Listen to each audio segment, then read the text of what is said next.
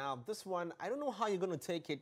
Since we're talking about abusive relationships and marriage and how women are finding it difficult and someone will walk out, I'm even worried to share the first story, Emefa. Hmm. so, women are meant only for the kitchen and the bedroom.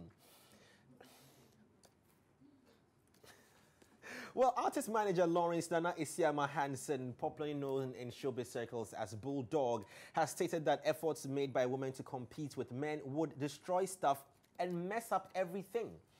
Now, he passed these comments during an interview on a Accra-based radio station. Now, the Shatta Movement manager dared his wife and anybody who had um, different opinion to divorce him or cut off his head if they think he's wrong.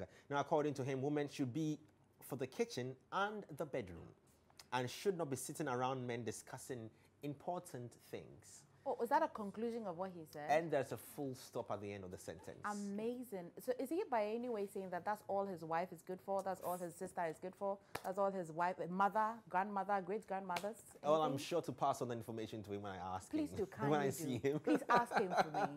Just Well- the bedroom and the kitchen. That's all for this Well, wife. yes. so, um, what do you think? But in all the in all this conversation about Phenomenal Woman, what do you think as well? And don't forget, Phenomenal Woman is showing on Sunday at 6 p.m. Maybe after watching, you can come and then we can discuss this conversation again. Are women only for the kitchen and the bedroom? Of course not. It's not up for a discussion. Well, the question is that is the kitchen and the bedroom a bad place to be? We're not saying that, but, But he said more, right? only. Only. I so know, clearly he's, he's shown me the type of, you know, person. Well, let me not make headlines this morning. Don't make headlines this morning. I know. Keep it safe. Yeah. Anyway, let's move on. So, uh, moving on to uh, our Ifira hitmaker. Um, uh, actor Kofori as well. Now, Ghanaian actor Kofori has revealed that his mother wept bitterly when he saw him on TV as a drunkard for the first time. Oh, mommy, he was just acting. Now, however, she understands his profession better now since they are all happy with his prominence he gained from local television series dubbed Ifira, if you remember. Now, the comic actor explained that coming from a devoted Christian home and getting on set public as a drunkard for the first time on TV show was very difficult for him. Hmm, Wow. Interesting. I think he played that role very, very well to a point a lot of us actually even thought that he was actually uh, drunk. But anyway, he was acting. acting. All right, let's move on. So Burna Boy and Koffee have met up in the studio. And guess what? So Burna Boy got fans excited with some video clips he posted on his Instagram account. Now, the first video of him was one performing in a club then followed by a studio session with Jamaican singer Koffee. Now, both artists are known to be fans of each other, with Koffee even performing a cover of Burna Boy's hit single, Ye. Now, lots of fans are excited about the collaboration, which might be a combination of dancehall and Afrobeats. Watch the video on your screens. Cause I pull up in a drop. Killing them rough when the castle of the boss. Shooting my shot, to kill it, to keep with the shoot catapult. Me listen when a mango say. Me listen to rhythm and sample it. Who the, who the, who the boss? You know we was us, cause I pull up in a drop. Killing them rough when the castle of the boss. Shooting my shot, to kill it, to keep it with the shoot catapult. Me no listen when a mango say.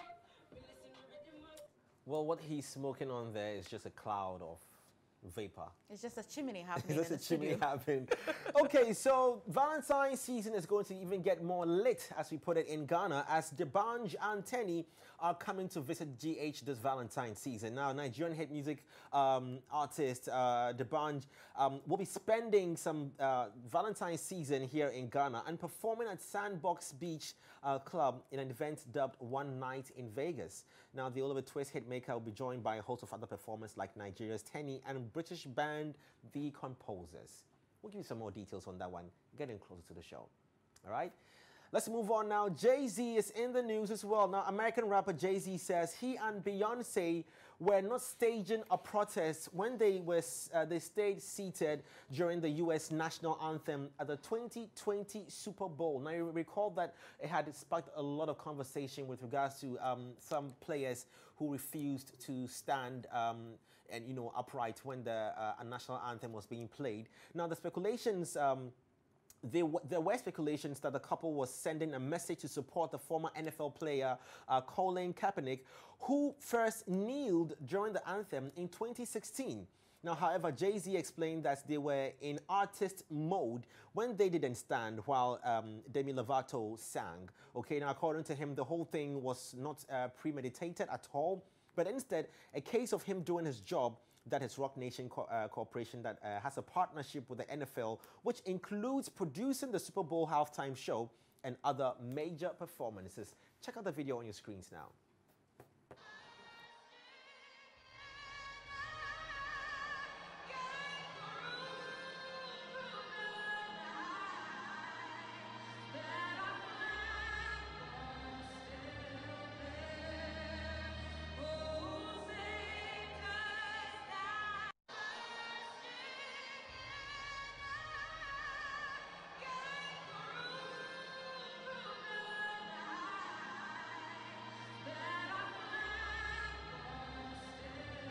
Well, it's a big deal when Jay Z sits during the national anthem, so of course it will spark everyone to talk about it. But like he said, it had nothing to do with any premeditated idea of uh, disrespecting the national anthem.